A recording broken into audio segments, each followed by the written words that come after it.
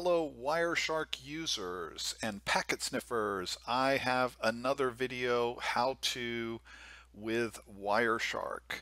And this particular video, what I'm going to deal with is something called name resolution and using name resolution files.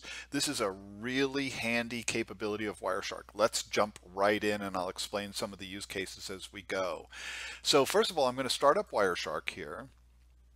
And I'm going to do just a little local packet capture on my machine. Now I think I'm plugged into Ethernet. Yes, I am right there.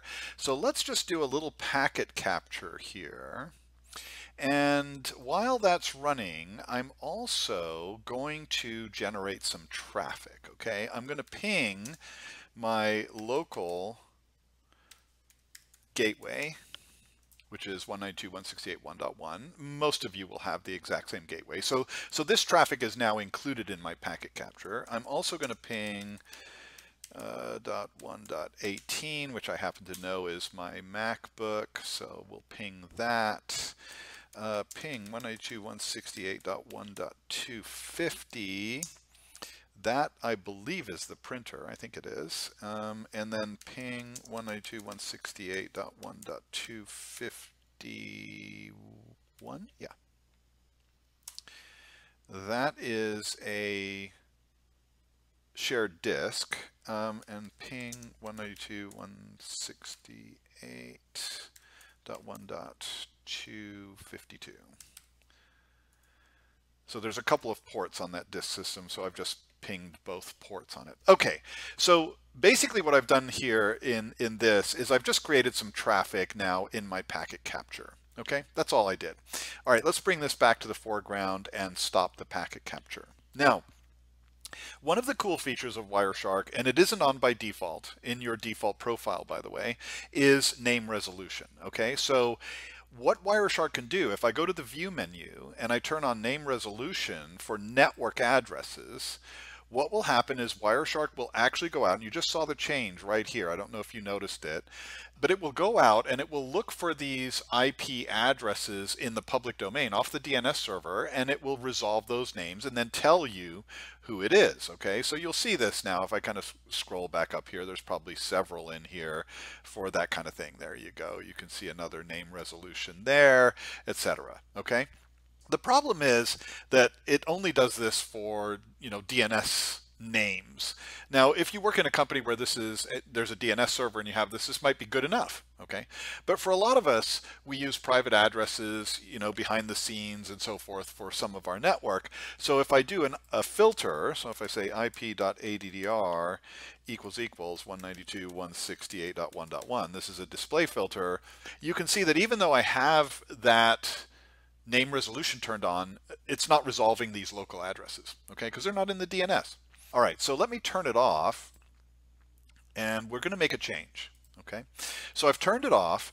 Now what I want to do is I want to create a name resolution file. Now Wireshark requires that this is called hosts. Okay, it's a text file, but there's a trick to this. Okay, and it's a trick that stumps most people, and that is that you have to save the file with no extension. Okay, so let's create first of all the host file. So I'm going to open up a just a you know text editor. I use Notepad++, but you can use anything. You know, you can use Notepad or whatever just to create a plain text file. We're going to start with the hashtag because this is the comment indicator. And we're just going to give this a name. And I, I urge you to use this as a best practice, right? So that when you have multiple host files under different profiles and stuff like that, you can keep track of, you know, which host file does what resolution, okay? So I'm going to say name resolution for the home network. Uh, and again, you can comment out as many lines as you want. You can put as much information in there as you wish. After that sort of commented information, you now need to list what IP address is given what name. Now the name cannot have any spaces in it. It must be a contiguous set of characters, okay? So first of all, it starts with IP address 192.168.1.1 and uh, we'll give this the name of home underscore gateway underscore router. Okay. Uh, again, no spaces. Okay. So I've used the underscore as essentially the space. Now you could use dashes or you could just use, you know, none at all. And you could just name it something like that. Uh, let's add the other things. Uh, 192.168.1, I think I did dot 18, which was the MacBook Pro. There you go. And what else did I do? Uh, 192.168.1.250 was it, or was it 251? I think it was 250, and that was the HP underscore printer. And let's see, 192, oops, dot 168.1.251 was the disk system underscore port 1, something like that and 192.168.1.252 was the disk system underscore port 2. Okay, so so knowing that this had two ports, knowing that they have two IP addresses, this is perfect. And oh, I just happened to notice in the background, uh, since I had that filter, that my IP address uh, must have been 1.20. So let's put that into 192.168. 1.20 is my underscore HP underscore laptop. Something like that. Okay, so I've created basically this little cheat sheet for Wireshark to use to do the name resolution for these IPv4 addresses. All right, now the key here is how we save this file.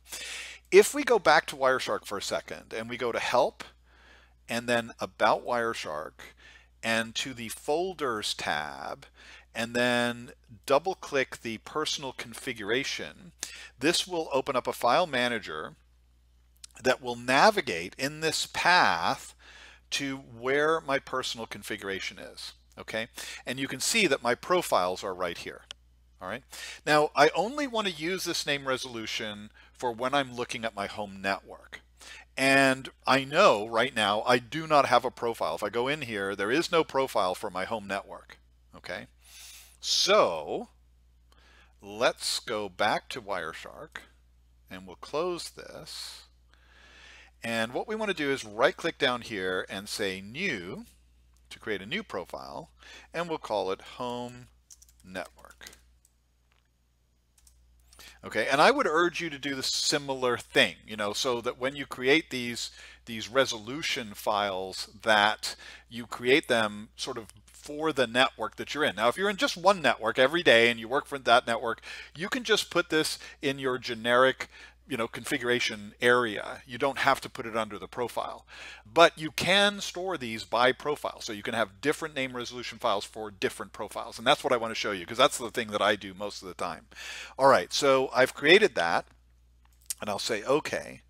And then what we want to do is switch to, whoops, make sure it has switched to the home network, which it, it has done because I can tell the, the font's smaller. So I'll make the font bigger.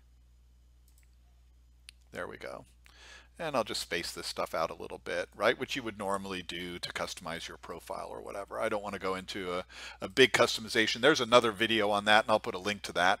All right, so very good, right? And uh, now let's take a look and see if we can enact this. Now, first thing we have to do is save this profile that we created back here in the in the text editor. Save it under this profile because this profile now exists, as we will see.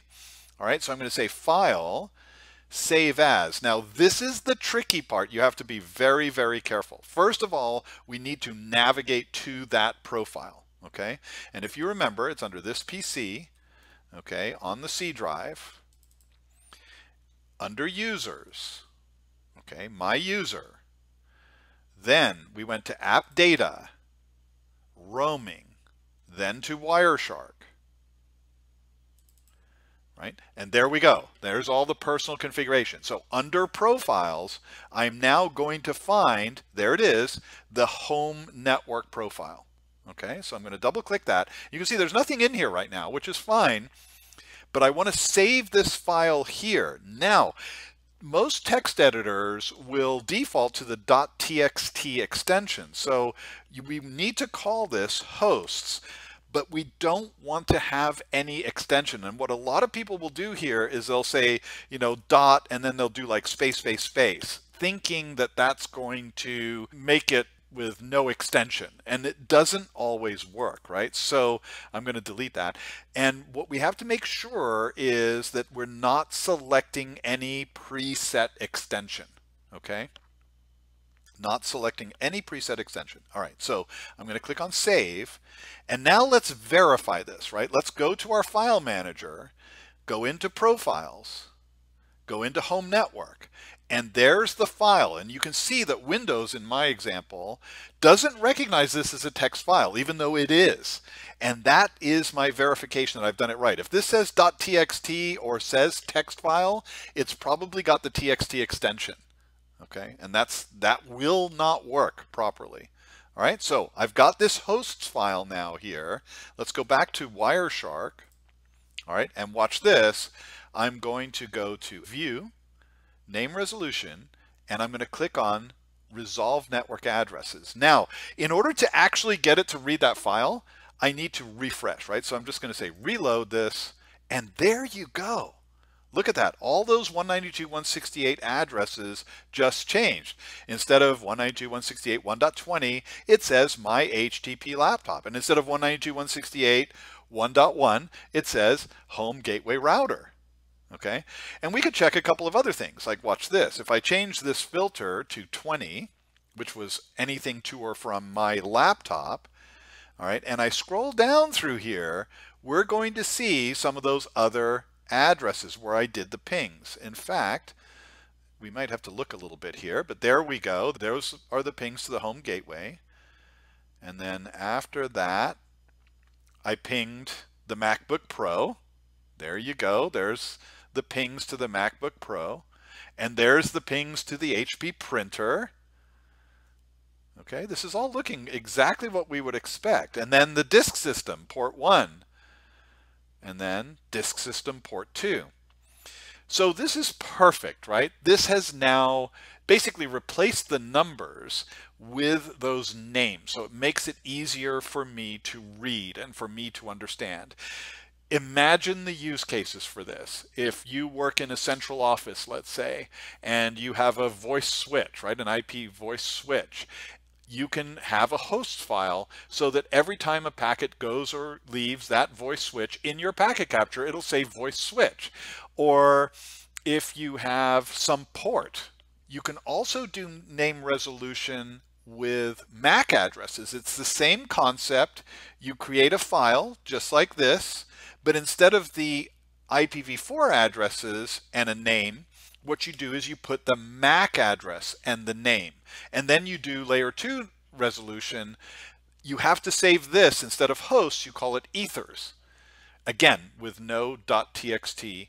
And you can do name resolution at layer 2 as well. Okay, so lots of use cases, lots of ways to simplify what you're looking at and to make it more human readable for you by using this capability of Wireshark. I hope you enjoyed this and I hope it makes it clear to you exactly how to use the name resolution capability of Wireshark. And remember to capture every day. See you in the next video.